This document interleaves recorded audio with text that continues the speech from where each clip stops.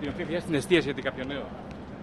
Δεν έχουμε κάτι νεότερο για το ΦΠΑ στην εστίαση. Ξέρετε ότι αυτό είναι ένα από τα ε, θέματα που από την αρχή το Υπουργείο Τουρισμού έχει ε, ζητήσει με, ε, με, κάθε τρόπο γιατί νομίζουμε ότι θα είναι ο καλύτερος τρόπος για να μπορούμε να έχουμε ανταγωνιστικό προϊόν. Βρισκόμαστε στο μέσο της τουριστικής περίοδου, επομένως πρέπει όλοι να έχουμε υπόψη μας ότι αυτό το πολύ καλό ρεύμα τουριστικό που βλέπουμε προς την χώρα μας και τα πολύ αισιόδοξα μηνύματα που είχαμε από την αρχή της χρονιάς για να επαληθευθούν σημαίνει ότι πρέπει όλοι οι επαγγελματίες του τουρισμού αλλά και όλοι εκείνοι που ερχόμαστε σε επαφή με τους επισκέπτες της χώρας μας πρέπει να ε, δείξουμε το καλύτερο πρόσωπο της Ελλάδας. Εμείς, ως Υπουργείο Τουρισμού, θα κάνουμε τον απολογισμό μας στο τέλος της χρονιάς.